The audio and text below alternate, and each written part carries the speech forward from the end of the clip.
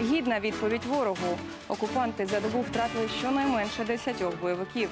Як за часів холодної війни, Дональд Трамп обіцяє стримувати Росію та Китай ядерним арсеналом. Тереза Мей залишається прем'єром Британії, але питання Брекзиту досі відкрите. Про все це у найближчі півгодини у новинах на інтері. Я Ольга Торнер. Добрий день. Десять українських військових постраждали минулої доби на Донбасі. П'ятеро з них поранені, інші п'ятеро зазнали контузії. Бойовики з протитанкового ракетного комплексу влучили у військовий Урал, який привіз на позицію харчі. Це сталося поблизу Троїцького, що на Світлодарській дузі. В результаті обстрілу 5 військовослужбовців отримали поранення. Два знаходяться в тяжкому стані, троє отримали поранення середньої тяжкості. П'ять військовослужбовців отримали бойові травмування. На даний час військовослужбовцям надана кваліфікована медична допомога в одній з міських лікарень із залученням висококваліфікованих медичних працівників. Даний факт чергове свідчить про недотримання російсько-окупаційними військами режиму припинення вогню та мінських домовленостей. Армійці були змушені дати адекватну відповідь ворогу. Благодійний фонд Повернися живим на своїй сторінці у Фейсбуку оприлюднив відео, як українські військові атакували супротивника у районі селища Жабуньки на Донеччині. Внаслідок цього ліквідовані п'ять бойовиків, троє поранені. Загалом, за даними розвідки, минулої доби знищено 10 окупантів. Тристороння контактна група сьогодні проведе перше засідання після місячної перерви. У мінську українська сторона, зокрема, наполягатиме на створенні постійного пункту місії ОБСЄ в окупованому Криму. Повідомила віце-спікер Верховної Ради Ірина Геращенко. Нагадаю, попередній раз Україна, Росія та ОБСЄ зустрічалися 19 грудня у столиці Білорусі. Офіційний Київ пропонував обміняти до нового року заручників, але представники Москви на пропозиції не погодилися.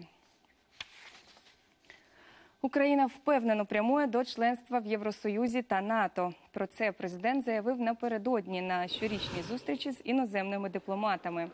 Петро Порошенко наголосив, що держава успішно впроваджує реформи у різних сферах, зокрема безпековій та оборонній. А це невпинно наближає її до європейського майбутнього, вважає президент. Поглиблена та всеохоплююча зона вільної торгівлі з ЄС є нашим дороговказом повномасштабної економічної інтеграції до спільного європейського ринку. Україна успішно впроваджує докорінні зміни у сфері безпеки і оборони держави. Україна, українська армія вже увійшла у десятку потужніших армій Європи. Прийнятий у минулому році закон про національну безпеку ще більш швидкими темпами наближатиме нас до стандартів НАТО. Тим більше, що тепер пріоритет майбутнього членства в ЄС і НАТО буде зафіксований безпосередньо в Конституції. США почнуть вихід зі спільного з Росією договору про ліквідацію ракет середньої і малої дальності 2 лютого. Про це повідомила заступник держсекретаря Андреа Томпсон. За її словами, Сполучені Штати не бачать ознак того, що Москва піде на угоду з Вашингтоном. Нагадаю, Америка звинуватила Росію у порушенні договору про ліквідацію ракет середньої і малої дальності, підписаного ще Рейганом та Горбачовим 87-го року. Сполучені Штати стримуватимуть Росію та Китай ядерним арсеналом, а не тільки глобальною системою протиракетної оборони. Про це зокрема йдеться у сьогоднішньому докладі Дональда Трампа щодо системи ПРО, заявив напередодні представник президентської адміністрації. За його словами, у Білому домі переконані, Москва і Пекін мають чималий ракетний арсенал. Тож вплинути на їхню політику можна буде лише через серйознішу ядерну зброю. Водночас представник Білого Дому зазначив, очільник США прагне налагодити відносини між обома країнами. Тереза Мей залишається прем'єром Британії. Парламент країни відхилив вотум недовіри уряду, який висунув лідер опозиційної партії лейбористів Джеремі Корбін. Е, за уряд Мей віддали свої голоси 325 депутатів проти 306. Після такого результату голосування Корбін закликав уряд цитую пообіцяти не допустити обвального Брекзиту без врегулювання відносин з ЄС. Самій прем'єрці доведеться шукати порозуміння і зі своїми опонентами, і з однопартійцями, адже її варіант договору про Брекзит парламент не підтримав. Уряд має раз і назавжди усунути перспективу катастрофи через вихід з Євросоюзу без угоди і весь хаос, який прийде внаслідок цього. Я закликаю прем'єр-міністра підтвердити просто зараз, що уряд не погодиться з таким договором про вихід з ЄС. Тепер, коли члени парламенту чітко висловилися про те, що їх не влаштовує, почнімо конструктивно працювати разом і з'ясуємо, чого саме парламент хоче. Ось чому я запрошую усіх депутатів зібратися і визначити, як працюємо далі. Уряд грецького прем'єра Алексіса Ципраса залишився при владі. Питання про довіру поставив сам очільник уряду після того, як подав у відставку міністр оборони, протестуючи через угоду з Македонією. Нагадаю, в обмін на згоду останньої змінити назву Афіни пообіцяли зняти вето на вступ Скоп'я до НАТО і ЄС. Депутати підтримали угоду минулого тижня. Щоб вона набула чинності, також потрібне схвалення грецького парламенту. Теракт у сирійському місті Манбіч. 16 людей загинули. Серед них четверо американські військові. Смертник підірвався поблизу ресторану в середмісті, коли поруч був патруль США. І ще чотирьох поранених забрали гелікоптером. Відповідальність на напад взяло на себе угруповання Ісламська держава. Військові Сполучених Штатів перебувають у Сирії задля підтримки тамтешніх курдів. Четверо людей загинуло, ще п'ятеро травмовані внаслідок вибуху в багатоповерхівці в Тбілісі. Серед жертв є діти. За попередніми даними, на одному з поверхів житлового комплексу рвонув газ. Уцілілих мешканців будинку евакуювали. Поліція відкрила провадження щодо порушення правил безпеки. Сьогодні в Грузії оголошено жалобу за загиблими. Масштабна пожежа сталася напередодні ввечері на Львівщині. Спалахнуло на територію заводу з виробництва олії у селі Ставчани. Зайнявся один з резервуарів для сушіння насіння соняшника. До ліквідації полум'я залучили 90 рятувальників та 16 одиниць спецтехніки із сусідніх районів та Львова. Пожежі присвоїли найвищий рівень небезпеки. Гасили її протягом п'яти годин. Постраждалих немає. У Запоріжжі від ускладнень після грипу померло півторамісячне немовля. Це сталося ще напередодні нового року, але причини летального випадку назвали лише зараз, коли прийшли результати лабораторних досліджень. За словами медиків, виявлено грип штампу А2. У Запорізькій області це перша смерть від цієї недуги за останній час. Попри те, що захворюваність на гострі респіраторні вірусні інфекції нижче епідемічного порогу майже на 40%, школи та дитячі садки працюють у штатному режимі. Про карантин у закладах наразі не йдеться. Безусловно, сейчас закончились каникулы и у школьников, и у студентов. Э, Мы ожидаем рост заболеваемости, тем более э, сейчас циркулирует в основном именно грипп А, а этот грипп вызывает и э, вы- высокое быстрое распространение инфекции и вспышки. То есть мы ожидаем рост заболеваемости и не исключаем, что к концу января, начале февраля мы дойдем до порогового уровня, а можем его и превысить. Харківські оперативники розшукують нападників на поліцейського. Напередодні вранці невідомі в масках стріляли в офіцера карного розшуку, коли він повертався додому. У якому стані потерпілий та які версії слідства дізнавалася Світлана Шекера. О 7.40 офіцер карного розшуку вийшов з дому погуляти з собакою. На цьому місці до нього підійшли двоє невідомих, попросили запальничку і напали на правоохоронця. Зловмисники вдарили поліцейського в обличчя і передали привіт. Потім двічі вистрелили у шию і в голову. Звуки пострілів чули мешканці будинку поруч. Э, Ну, как хлопушки от фейерверка были. Ну, не знаю, как шутиха, как фейерверк, что-то такие, так петарды пустили, пару штук и все. Я два слышала. Два хавка. Нападники втекли на темно-синьому деоланосі із шашками таксі. Їхню автівку зафіксували камери спостереження. Поранений поліцейський зміг сам дійти до свого під'їзду. Зараз він у лікарні із тяжкими травмами голови. Нейрохирургия, челюстно-лицевые хирургии и общая хирургия закончили свою часть. Это тяжкие травмы. То есть по классификации судебных м, экспертов это травмы, которые э, могут привести к смерти. Могут. Состояние тяжелое, будет, ну, да, поскольку операция еще продолжается. У Харкові запровадили оперативний план «Сирена». Наразі розглядають кілька версій нападу, зокрема й пов'язану з професійною діяльністю. Відкрите кримінальне провадження за статтею 348 Кримінального кодексу України як напад і посягання на життя працівника правоохоронного органу. Правоохоронці просять усіх, хто може, допомогти слідству, зателефонувавши до поліції. Світлана Шикера, Олександр Яновський. Новини телеканал Інтер. Харків.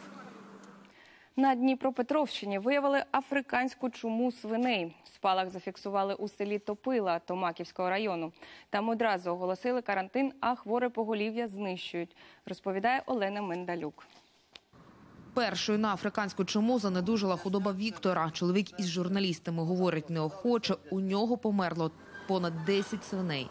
Ще толком нічого не ясно, сільсовет буде все рішати. Воно вже надоїло це все. Ніхто вже всі їздять, а воно без толку це все. На вулиці Українській, де живе Віктор, африканську чуму виявили ще в кількох дворах. Хвору худобу фахівці Держспоживслужби знищували прямо на подвір'ях господарів, кажуть місцеві. Вони не вивозили, десь вони тут а їх закапували, палили, напевно ж. Це страшно. Це ж вірус. Люди пострадають так само багато. Усіх тут всі, ну, це село. Усі держать свиней. З трьох чи чотирьох дворів палили там по 20, по 15, по 10 голову, так десь. Нині в селі карантин на в'їзді облаштували так званий блокпост. Тут цілодобово чергує ветеринар та поліція. Стежать, щоб з карантинної зони люди не вивозили свиней. Так борються з поширенням чуми. Якщо тварина заболіла, свиня, то 98 до 100% літальний ісход. Немає ні ліків проти неї поки, ні вакцини. І це ж цією метою такі і заходи, щоб не було розповсюдження. Карантин оголосили на 45 днів. Наразі ж у селі й далі обстежують господарства. Що стало джерелом небезпечної недуги, поки що невідомо. Фахівці не виключають, що африканську чуму в село могли принести дикі кабани. Мігрує дикий кабан, він теж може, то, теж може бути больний. І, на жаль, ви бачили сьогодні, що доповідає керівник е, Держлісгоспу. Відстріляти санітарно ми сьогодні не маємо права, тому що е, керівники, які потрібно було забезпечити це все, не забезпечили е, погодження з відповідними структурами в місті Києві. За чотири дні нових випадків африканської чуми у свиней фахівці не виявили. Олена Маделюк, Іван Біленко. Новини телеканал Інтер. Дніпропетровська область.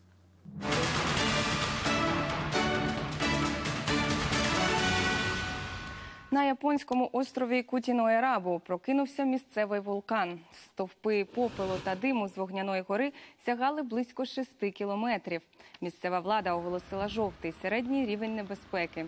Це означає, що жителям заборонено наближатися до зони виверження. Водночас евакуйовувати острів'ян поки що не збираються. Там проживає 109 осіб. Повідомлень про потерпілих та руйнування від вулкану немає. Єгипет накрила пилова буря. Піском замітає столицю та кілька портових міст. У Каїрі на вулицях люди ходять у масках. Видимість на дорогах обмежена. Через стихію вже затримали чимало авіарейсів на столичному литовищі. Свою роботу призупинили два порти. Жителям радять перечекати негоду вдома. Чи є постраждалі від стихії, невідомо. В Єрусалимі випав сніг. Зимова буря накрила всю країну. Хуртовина тривала кілька годин. Сніговий покрив становив 10 сантиметрів. Напередодні країною пройшли зливи з градом та ураганним вітром. Подекуди сталися перевої зі світлом. За словами синоптиків, вже сьогодні циклон залишить країну. А у зоопарку Сіднея тварини потерпають від спеки. В країні вже кілька днів, майже плюс 50. Щоб допомогти звірям перебути аномальну спеку, їм влаштовують додаткові водні процедури. Слонів поливають зі шлангу. Для менших тварин у вольєрах облаштовують ванночки, аби ті змогли як слід охолонути. І навіть їжу перед годуванням остужують. Так, тюлені дістали спеціальні рибні бурульки, а єхиди заморожених черв'яків. У Чорнобильській зоні відчуження триває зимова експедиція з обліку тварин. Такі дослідження проводять ще від часів катастрофи. Без людей лісових мешканців там значно побільшало. Повернулися навіть ті види, які давно зникли з цієї території. Слідами диких тварин ходила і Катерина Сривкова.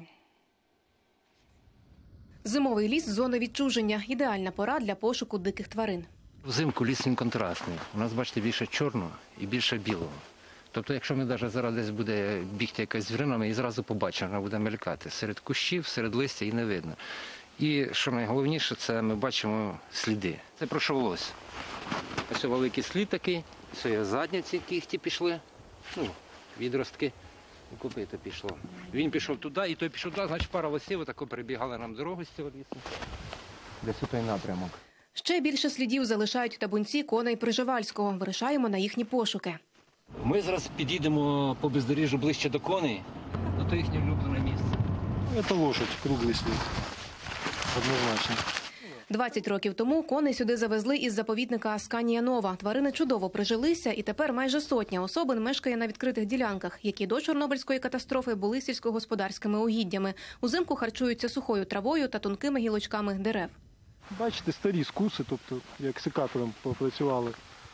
Ми змогли підійти до коней майже на 50 метрів. У цій групі 12 особин. Самець вожак завжди тримається трохи позаду, щоб охороняти своє стадо. Територія Чорнобильського заповідника сягає понад 220 гектарів. Тут мешкає понад 300 видів хребетних тварин. Щоб охопити таку величезну відстань, дослідники використовують фотопастки.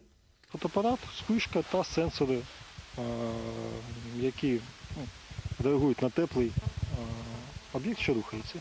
Пристрої кріплять на деревах і залишають на кілька місяців. Фотографують вони автоматично. Саме завдяки таким пасткам фахівцям вдалося зафіксувати зубра та бурого ведмедя. Так, є ведмідь, він великий, типовий бурий ведмідь, він ходить.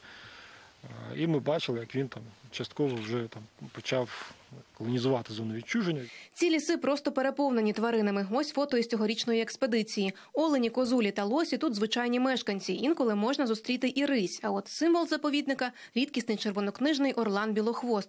Це великий рибоїдний хижак. Розмах його крил може сягати до 2,5 метрів. Вже з понеділка у заповіднику почнеться систематичний облік цих птахів за участі Інституту зоології Національної академії наук України. Катерина Сривкова, Даніель Косаковський. Новини телеканал Інтер. У Китаї жінка стала манекенницею, коли їй було добряче за 50. Чому в Піднебесній виник попит на літніх моделей, знають наші журналісти. Коротка стильна стрижка, яскраве вбрання. 56-річна Ма Їн Хьон упевнено дефілює на подіумі в Шанхаї. Свою кар'єру манекенниці жінка розпочала два роки тому. І відтоді її для своїх показів з руками відривають ведучі фешн-бренди, серед яких відомі Дольче Енгабана. Я не вважаю, що через свій вік надто відрізняюся від решти манекенниць. Я завжди доглядала за собою, і в мене постійно були власні вимоги щодо краси. Я і зараз не дозволю собі одягнутися як бабуся або тітонька Матрона. Жінка каже, мріяла про моду ще в юності. Навіть літала до Японії, щоб вивчитися на дизайнерку. Але тоді на це не вистачило грошей. Тепер тішиться, що хоч уже й на пенсії, але таки вдалося вскочити в індустрію моди. Люди нашого віку, пенсіонери, зазвичай сидять удома. Чи не так? Як на мене, це нудно. Вам немає чого робити. Ви цілими днями думаєте, на що витратити стільки вільного часу. Ви ж не збираєтеся днями лише прибирати і готувати на кухні. Мені б це було не цікаво. Завдяки своїй новій роботі та активності у зрілому віці вона стала прикладом для друзів. Ми з подругами щасливі, що їй це вдалося. Вона працює у фешн-індустрії. Через це ми багато дізнаємося про моду саме від неї. Те, як вона одягається, нас усіх надихає. Поки що Ма Хьон – одна з перших ластівок на китайському подіумі. Однак в індустрії моди певні надалі попит на літніх манекенниць лише зростатиме. У такий спосіб хочуть охопити величезний ринок старших китайців. Таких у Піднебесній невдовзі буде майже півмільярда. За словами експертів, вони вже виростили своїх дітей і волітимуть витрачати більше грошей на себе, зокрема і на свій зовнішній вигляд. Катерина Кравець, новини телеканал Інтер. Сьогодні увесь світ відзначає День дітей-винахідників. Щороку тисячі юних геніїв вигадують різноманітні пристрої, вдосконалюють роботів і техніку. Герой нашого наступного сюжету вкотре доводить, школярі здатні не лише помічати те, що дорослі щодня ігнорують, а й перетворювати свої спостереження в наукову розробку. Змінне магнітне поле проходить через катушки і утворює е, електричний струм. Цей макет вітрогенератора 11-класник Артем змайстрував близько року тому. Каже, ідея самого пристрою зовсім не нова. Юнак лише придумав, де б ще її доречно було використати. Думаю, кожен помічав, що коли потяг прибуває, перед ним іде досить сильний вітер. Також ем, спостережень можна сказати, що цей потік повітря і за ним е, йде. Тобто ми маємо досить сильні періодичні пориви вітру, можна так сказати. І я пропоную використати цю енергію, що потяг е, викинув, можна сказати, просто так, е, для того, щоб згенерувати електроенергію і зменшити збитки е, метрополітену. За розрахунками юнака, якщо такі вітрогенератори встановити по всій підземці, можна компенсувати до 30% енергії, яку споживає метрополітен. По розрахункам, через кожні 2 метри має стояти ось такий от вітрогенератор. Е, В покращеному варіанті він ще буде з'єднаний саме в блоки, і блоки будуть передавати енергію на один великий маховик, що запасатиме енергію, буде крутитися майже весь час і майже постійно давати енергію. Генератор Артема простий та дешевий в експлуатації. Він не передбачає щиток, які зношуватимуться з часом. А отже, такі пристрої будуть довговічними. Свою розробку юний вчений вже встиг презентувати на конкурсах Малої академії наук і навіть її запатентував. Залишилось знайти та зацікавити інвесторів. Спонсорів, е, як таких, в мене не може бути, так як метро це державна установа і не у кожного є приватне метро. У майбутньому юний винахідник планує представити свій проект на Олімпіаді з екології та різноманітних технічних конкурсах. Юлія Касян, Павло Лисенко, новини телеканал Інтер. А напередодні в світі відзначали День льодовара. Це ті, хто заливає кригу для ковзанок і доглядає за нею. Наша кореспондент Магда Кривов'яз провела один день з працівниками столичної льодової арени і зараз поділиться секретами створення ідеального майданчика. Немов піаніст Віктор вправно перебирає важелі. Він водій комбайна для відновлення та заливання льоду. За один виїзд ця машина зрізає 600 літрів снігу і виливає стільки ж води. Оце опускається плита. На плиті стоїть ніж, який зрізає льод. Подача води ось цим краном. Ось відкривається, і он через ту трубку тече вода. А ось це полотенце розглажує воду, щоб був дуже хороший лід. Треба вспіть і воду прикрити другий раз, і газу дати, і, і, і руля крутити, і ножа другий раз треба регулювати. І все. Віктор приходить на роботу о 5 ранку і працює цілу добу. Щогодини після кожного тренування, спортивних ігор та змагань він виїжджає цією машиною і доводить ковзанку до ідеалу. Особливість відповідальність в тому, щоб гарно залити лід для дітей, для хокейних команд. І відповідальність за техніку безпеки за все. На цій ковзанці тренуються збірні з фігурного катання, хокеїсти, діти. День розписаний по хвилинах. Перше тренування розпочинається о пів на шосту ранку, останнє завершується о півночі. І що краще покриття, то ліпші результати в спортсменів. Денис льодовар у другому поколінні. Усього навчився від батька, який у професії вже понад 20 років розповідає процес створення криги з нуля дуже кропіткий і займає близько тижня. Стільки ж часу потрібно, щоб його прибрати. Таку процедуру роблять раз на рік. Для начала охлаждается до нуля градусов плита в течение нескольких дней. Наливается первый слой, потом наносится разметка и покрывается еще одним слоем льда. І це ще не все. Для кожного виду спорту лід має бути різним. Для хоккеистов нужен более жесткий, для шотрека еще жестче, для фигуристов достаточно э, 3, минус 3, минус 4 градуса, для хоккеистов 4-5, а шотрек даже 6-7 минус. Загалом за якістю криги на ковзанці стежить четверо чоловіків. Магда Краєвяз, Павло Лисенко, новини, телеканал Інтер. У Паризькому акваріумі відкрили виставку медуз. Під одним дахом показали одразу 45 видів цих морських тварин. Серед них і небезпечні для життя людини. Щоб розмістити всіх, знадобилося понад два десятки резервуарів. Так організатори хочуть привернути увагу відвідувачів до проблем глобального потепління та забруднення океану. Мовляв, це сприяє різкому збільшенню популяції медуз у світі, що може порушити природний баланс на планеті. Як розвиватимуться події четверга, дивіться вже у вечірньому випуску. А в мене поки що все. Гарного вам дня і до зустрічі завтра.